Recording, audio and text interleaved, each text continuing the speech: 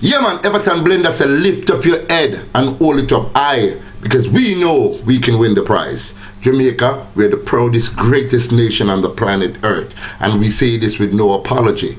But yet still, we do not understand the significance of celebrating 53 years of independence. But yet still, we do not understand the significance of celebrating 150 years since the Morant Bay Rebellion.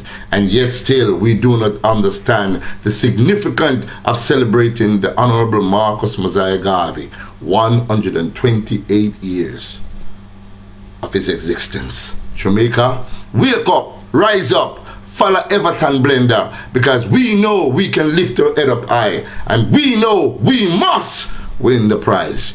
Rastafari live and Big Stone said that with no apology. Lift up your head and hold it up high.